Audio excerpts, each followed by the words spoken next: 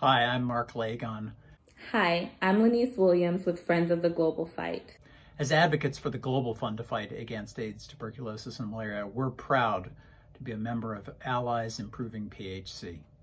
On the second anniversary of the Astana Declaration, Friends strongly urge all nations to recommit to the need of achieving primary health care for all. The Global Fund invests in community health systems to end long-standing pandemics and be ready for emerging ones. Taking action to meet the Astana commitments on primary health care is essential for real health security, leaving no one behind due to poverty, discrimination, or stigma. It's crucial that everyone has a chance to thrive in dignity. Join us, Allies Improving PHC, to turn the Astana commitment into a reality.